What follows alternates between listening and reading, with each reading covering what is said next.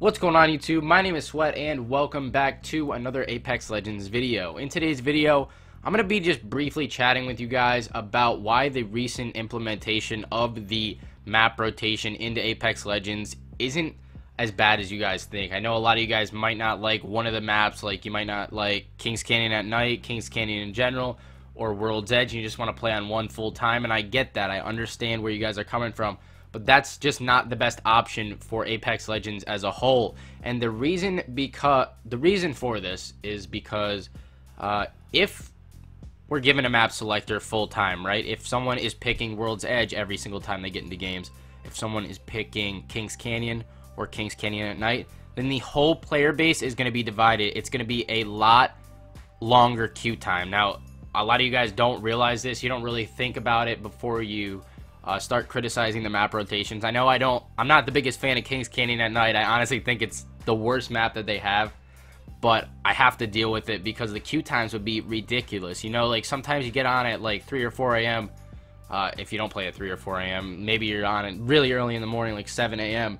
You're going to get those long queue times, right? It's going to be a really long time before you're finding a game. And just think about that. If they split the three maps up and people in the morning are selecting one map and somebody else across the U.S. or wherever you live is selecting another map, you guys are never going to get into the same game, okay? It's not going to queue up. It's just going to be like 30 minute queue times, and nobody wants that. So that is the main reason why the map selector is the best option for Apex Legends. And um, I just want to quickly talk about Kings Canyon at night for a second. I know a lot of you guys don't like it. I don't personally like it, and some of you guys might actually like it, but I think it's way too dark, especially near the uh, Void Walker. What was that called?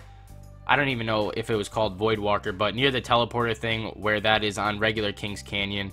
Um, that place can be really tough to see in, okay? And any forest area, it's really tough to see people at night. Like, honestly, you could be camping in a bush and I wouldn't even know. So this is what I'm going to tell you guys. It's to pick up digital threats and use uh, in duos the characters Bloodhound and Bangalore. The reason you want to do this, obviously Bloodhound can scan people and he lights them up in the dark. It's going to be really effective along with the digital threats.